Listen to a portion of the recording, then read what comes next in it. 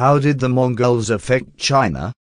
When Kublai Khan conquered China in 1279, he became the first Yuan ruler of China. As he came to power he contributed to the fast growth of China's economy.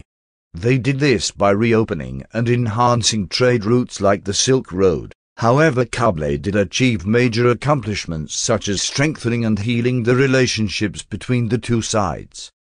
Although he did achieve many great things, he led multiple unsuccessful conquests over countries in Asia.